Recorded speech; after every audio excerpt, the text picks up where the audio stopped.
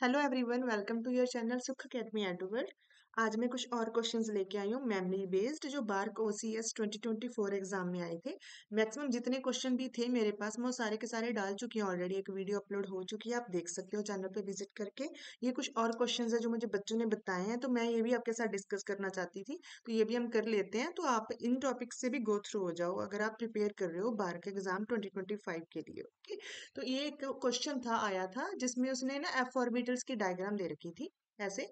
और पूछा था इनमें से कौन सा एफ़ ऑर्बिटल है जो बेटर सिग्मा बॉन्ड बनाता है ओके तो ऐसे ही क्वेश्चन वो डी ऑर्बिटल के रिगार्डिंग ही पूछ सकता है। तो इसलिए आप डी ऑर्बिटल और एफ़ ऑर्बिटल कैसे बिहेव करते हैं, वो कौन से सिग्मा बॉन्ड और पाई बॉन्ड बेटर बनाते हैं इन्वॉल्व होते हैं कौन से ऑर्बिटल सिग्मा बॉन्ड और पाई बॉन्ड बेटर बनाने में जल्दी। तो आप ऐसे क्वेश्चन भी पढ़ के जाओ ओके उनके बिहेवियर के बारे में। एक क्वेश्चन ईपीआर स्पेक्ट्रोस्कोपी से आया था। उसने ऐसे एक, ये क्वेश्चन ना पहले गेट में भी आ रखा है ओके तो ये गेट का एज इट इज़ क्वेश्चन उसने पिक किया था, कोई चेंज नहीं आया इसमें। तो उस, इसमें क्या है, आपको ये रिएक्शन दे रखी है फोटोकेमिकल ओके और इसमें आपको पूछा हुआ है कि जो प्रोडक्ट बनेगा, उसके ईपीआर सिग्नल्स कितने आएँगे? तो ये सिंपल ही क्वेश्चन था। आपको पता है कि फोटोकेमिकल रिएक्शन है तो फ्री रेडिकल्स बनेंगे ओके तो ये वाले फ्री रेडिकल्स बन जाने थे।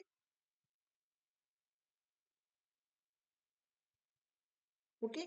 और उसने स्पिन की वैल्यू दे रखी है नाइन बाई टू जर्मेनियम की तो आप वही फॉर्मूला लगाओगे two N I plus one का। तो जर्मेनियम का नंबर कितना है वन और आई की वैल्यू कितनी दे रखी है उसने nine by two plus one okay? तो इससे आपका आंसर आ जाना था टेन उसने ऑप्शन दे रखे थे अलग अलग उसमें से जो टेन था, ये आपका करेक्ट आंसर आना था, ओके? तो एक ये वाला क्वेश्चन है। तो आप इसी तरह ईपीआर स्पेक्ट्रोस्कोपी से आसान सा क्वेश्चन पूछ लेता है। ओके, सिग्नल्स के रिगार्डिंग। अगर हम रिजिड रोटर की बात करें तो इस टॉपिक से उसने दो से तीन क्वेश्चन पूछे हुए थे। दो से तीन क्वेश्चन रिजिड रोटर टॉपिक से आ रखे थे, ओके? एक ये क्वेश्चन पूछा हुआ था उसने एफ़ ब्लॉक से उसमें बोला हुआ है which of the following pairs has only ground state populated at room temperature तो आप इन ऑप्शंस के ऊपर ध्यान मत दो, हो सकता है ये गलत हो जाए ऑप्शंस क्योंकि मुझे जैसे बच्चों ने बताया, मैंने यहाँ पे लिख दिया बट जो क्वेश्चन पूछा हुआ है, वो सही है ओके तो क्वेश्चन में अलग अलग जो ऑप्शन है, उसमें अलग अलग ऐसे एफ़ ब्लॉक दे रखे थे cations okay lanthanide lanthanide series से आ रखे थे तो उसमें उसने पूछा है कि इनमें से किसके पास जो होती है ग्राउंड स्टेट पॉपुलेटेड होती है। तो ऐसे क्वेश्चंस वो आगे भी पूछ सकता है लेंथेनाइड एक्टिनाइड सीरीज़ से। तो अक्सर ही हमें आपको ये भी पता है कि हर कॉम्पिटेटिव एग्ज़ाम में एफ़ ब्लॉक से क्वेश्चन तो आता ही आता है और आता भी ऐसा ही है।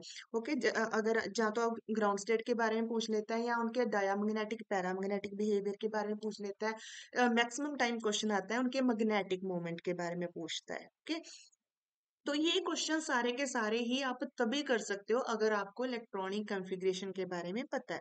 तो एफ़ ब्लॉक एलिमेंट्स की जो इलेक्ट्रॉनिक कंफिग्रेशन है वो आपको पता होनी चाहिए।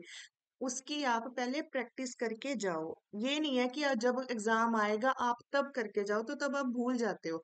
तो इसको अपनी प्रैक्टिस में रखो एफ़ ब्लॉक के लेंथेनाइट सीरी एक्टिनाइट सीरी की जो इलेक्ट्रॉनिक कॉन्फ़िगरेशन है, जिसमें वो स्टेबल रहते हैं। जो उनकी एक्चुअल में जो स्टेबल इलेक्ट्रॉनिक कॉन्फ़िगरेशन है, उसको आप याद रख के जाओ। एक टेबलर फॉर्म में बना लो उसको अपना। तो इस उसकी प्रैक्टिस करो। फिर उस हिसाब से जितने भी मैक्सिमम क्वेश्चंस आते हैं प्रीवियस ईयर में, ये अलग अलग जैसे ग्राउंड स्टेट से या मैग्नेटिक मूवमेंट के ऊपर, उनको प्रैक्टिस करो, फिर ही आप ऐसे क्वेश्चंस अटेम्प्ट कर सकते हो, ओके? तो ये आसान सा क्वेश्चन था।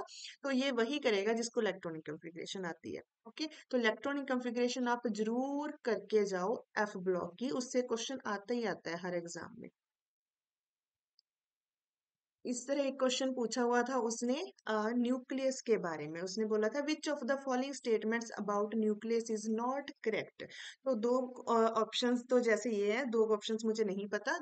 एक ऑप्शन जैसे दिया था newtons are lighter than electrons okay और एक दिया था neutrons on bombardment produce muons and nucleons ultimately ये क्या है कि जो फोकस करने वाली बात है वो ये है कि जैसे एक क्वेश्चन उसने इस बार ये पूछ लिया ई ओवर एम रेशियो के बारे में। इट मीन वो न्यूक्लियस न्यूट्रॉन प्रोटॉन और इलेक्ट्रॉन्स के तीनों को कंपैरिजन रखता है, जैसे ई ओवर एम रेशियो पूछ लिया उनकी।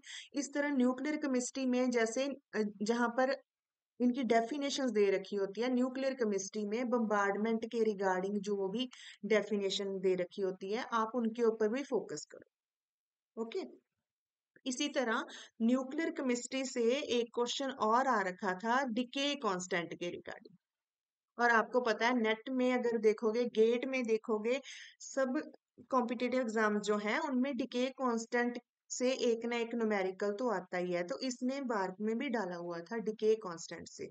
तो डिके कांस्टेंट वाला टॉपिक आपने स्किप नहीं करना है। उसमें जैसे रेडियो एक्टिव उसका टाइम पूछ लिया जाता है कि कितने में वो डिके होगा या डिके कांस्टेंट पूछ लिया जाता है लैम्डा तो आपने वो वाला टॉपिक भी करके जाना है। ओके और न्यूट्रॉन प्रोटोन इलेक्ट्रॉन इनकी जो कंपेरिजन स्टडी होती है, इनकी ई ओवर एम रेशियो इनका कौन सा हैवी होता है, कौन सा लाइटर होता है, ठीक है? ये सारे पार्टिकल्स हैं जो और कौन अगर बम्बार्डमेंट होती है न्यूक्लियर केमिस्ट्री में तो कौन से पार्टिकल्स जनरेट होते हैं, ये सब आपको पता होना चाहिए। तो आपने ज़्यादा डीपली नहीं जाना है।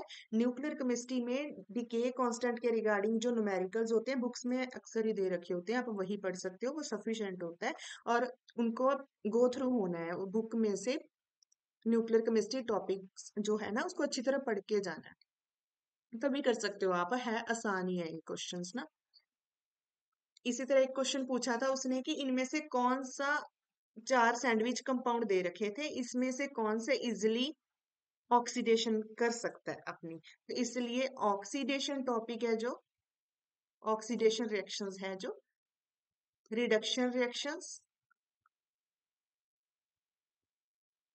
ओके एक टॉपिक होता है बीटा एलिमिनेशन रिएक्शंस ओके इन रिएक्शंस के बारे में आपको पता होना चाहिए। ओके? तो ये एक क्वेश्चन आ रखा था इस टाइप का।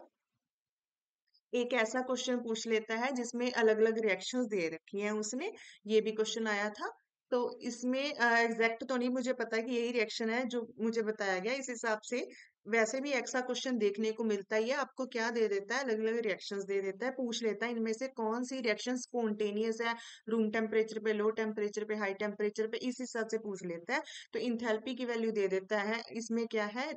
रिलीज़ हो रही है हीट या अब्जॉर्ब हो रही है, उस हिसाब से आपने डिसाइड करना होता है। उसकी इंट्रोपी को ध्यान में रखते हुए, उसकी गिब्स फ्री एनर्जी जो है, उसकी वैल्यू को फाइनली ध्यान में रखते हुए टेम्परेचर के अकॉर्डिंग उसमें क्या वेरिएशन आता है, उस हिसाब से रिएक्शन की स्पॉन्टेनिटी डिसाइड करनी होती है। तो इस तरह की जो रिएक्शन इस तरह के जो क्वेश्चन होते हैं ना, बहुत मिल जाएँगे, आपको नेट के पेपर में भी मिल जाएँगे गेट के में भी मिल जाएँगे जब आप बुक्स में ही देख सकते हो, वहाँ भी मिल सकते हैं आपको ऐसे क्वेश्चन तो आप इन क्वेश्चन की भी प्रैक्टिस करो। इस जो रिएक्शन स्पॉन्टेनिटी है या नॉन स्पॉन्टेनिटी है, इन रिएक्शंस की, जो इनके ऊपर भी क्वेश्चन आता है। ऐसा आसान सा क्वेश्चन ही आता है, आपको वैल्यू नहीं देगा, बस डायरेक्ट ही पूछेगा। तो आपने इंट्रोपी देखनी है और उस हिसाब से आपने टेम्परेचर वेरिएशन करके देखनी है और गिब्स फ्री एनर्जी की वैल्यू देखनी है, कैसे वेरी होगी। उस हिसाब से आपने डिसाइड करना है कि रिएक्शन स्पॉन्टेनियस होगी या नॉन स्पॉन्टेनियस होगी। तो एक ये टॉपिक दिमाग में रखना है, इसके, इसका बारे में पढ़ के जाना आपने। इस तरह से एक ये क्वेश्चन आ रखा था तो ये मैंने आ, आपको बता दिया मुझे पता चला था। इसमें से जैसे चार ऑप्शन दे दिया और पूछ लिया इनमें से कौन सा मोस्ट प्रिसाइज वैल्यू है? Okay okay? इनमें से कौन सी प्रिसाइज वैल्यू है मोस्ट तो ऐसा क्वेश्चन भी आप कर लेना प्रैक्टिस कर लेना इसकी। इस तरह एक क्वेश्चन और आया हुआ था रमन स्पेक्ट्रोस्कोपी से। ओके तो उसमें क्या पूछा हुआ था? उसने पूछा था फ़र्स्ट स्टोक लाइन और रेलिक्स लाइन है जो उन दोनों का डिफरेंस दिया हुआ था और अगर ऑप्शंस देखें तो ऑप्शंस में डिफरेंट डिफरेंट वेव नंबर्स दे रखे थे। इट मीन आपने इस टॉपिक के ऊपर भी ध्यान रखना है रमन स्पेक्ट्रोस्कोपी से, जो न्यूमेरिकल्स हैं, जिसमें स्टोक्स लाइंस निकालनी होती है एंटी स्टोक्स लाइन निकालनी होती है ओके उनके ऊपर जितने भी आपके न्यूमेरिकल्स बनते हैं, आप बुक्स से ही पढ़ सकते हो ओके जहाँ भी आपको ऐसे क्वेश्चंस मिल जाते हैं, आप उनको भी प्रैक्टिस कर लेना तो इससे भी क्वेश्चन आता है में। इस तरह एक क्वेश्चन ये तो मैंने आपको बता ही दिया कि न्यूक्लियर केमिस्ट्री से डिके कांस्टेंट के ऊपर ध्यान रखना, उसमें से पक्का ही न्यूमेरिकल आता ही आता है ओके तो बुक से ही आपको अच्छे खासे न्यूमेरिकल्स मिल जाएँगे प्रैक्टिस करने के लिए। और एक क्वेश्चन मैंने अपनी पिछली वीडियो में डिस्कस करा था आर एस कन्फिग्रेशन के रिगार्डिंग ओके मुझे बाद में बच्चों ने बताया कि उसमें क्या है ओ OH और NH2 है, उसकी जो स्टीरियो केमिस्ट्री है वो कुछ ऐसे दे रखी थी, जो ओ OH दे रखा था, जो पिछली वीडियो में मैंने ओ अबव दी प्लेन लिया है। एक्चुअल में O OH below the plane था। और NH2 मैंने बिलो दी प्लेन लिया था, ये है अबव दी प्लेन ओके ये थी एक्चुअल में स्ट्रक्चर जो एग्ज़ाम में ये वाला क्वेश्चन आया था, और इसको उसने वन कार्बन दिया था, इसको सेकंड वाला दिया था, और इसकी आर एस कंफिग्रेशन निकालनी है। तो इसका हम आज देख लेते हैं। तो इसमें देखो अगर इस वाले कार्बन की बात करें तो यहाँ ये डायरेक्ट ऑक्सीजन के साथ अटैच है तो ये इसकी प्रायोरिटी इसको वन नंबर आएगा इस साइड हाइड्रोजन को तो फोर्थ ही आएगा। अगर इन दोनों में बात करें तो इस कार्बन के साथ नाइट्रोजन लगी है, जिसका अटोमिक नंबर हाई है एज कंपेयर टू ये वाला कार्बन जिसके साथ डायरेक्ट कार्बन ही लगा है ओके जिसका अटोमिक नंबर लो है। तो इस हिसाब से अगर हम बेंजीन रिंग इस कार्बन को और इस वाले कार्बन को देखेंगे तो इस वाले कार्बन की प्रायोरिटी ज़्यादा आएगी। तो फ़र्स्ट इसको दिया था सेकेंड इसको तो इस रिंग को मिलेगा थर्ड नंबर तो अगर आप देखोगे तो ये क्या जा रहा है? वन टू थ्री फोर ये जा रहा है एंटी क्लॉकवाइज तो जिस हिसाब से इसकी कॉन्फ़िगरेशन रहनी चाहिए एस बट फोर्थ ग्रुप जो है, वो क्या है? अबव द प्लेन तो जिसकी वजह से ये किसमें कन्वर्ट हो जाएगा? आर कॉन्फ़िगरेशन में। तो जो फ़र्स्ट की रहेगी, वो रहेगी आर अगर हम सेकेंड की बात करें तो इस कार्बन के साथ डायरेक्ट नाइट्रोजन लगा है तो ये फ़र्स्ट प्रायोरिटी पे रहेगा। हाइड्रोजन है जो फोर बिलोरी प्लेन है फोर्थ ओके इसको तो फोर्थ नंबर मिलेगा। अगर इन दोनों को कंपेयर करें तो ऑब्वियस है, इस कार्बन के साथ तो बहुत कुछ लगा हुआ है ऑक्सीजन लगा हुआ है डायरेक्टली तो इसको सेकंड नंबर मिलेगा और इस मिथाइल को मिलेगा थर्ड तो ये है फ़र्स्ट सेकंड थर्ड तो ये कौन सा जा रहा है? एंटी क्लॉकवाइज ओके तो एंटी क्लॉकवाइज है और अगर फोर्थ ग्रुप को देखते हैं, वो भी बिलो दी प्लेन है तो जिसकी वजह से ये एस ही रहेगा। तो फ़र्स्ट कार्बन की आर कॉन्फ़िगरेशन रहेगी और सेकंड की एस ये था आपका करेक्ट आंसर इस क्वेश्चन का। क्लियर तो ये क्वेश्चंस आप प्रैक्टिस कर लेना। इसके बिना अगर मुझे कुछ और मिला तो कोई है क्वेश्चन तो मैं देख लूँगी। अगर आपको कुछ याद है तो आप बता देना कमेंट सेक्शन में लिख देना और चैनल को लाइक शेयर और सब्सक्राइब ज़रूर करो। ये मुझे बहुत मोटिवेट करता है, जो आपके भूल जाते हो करना।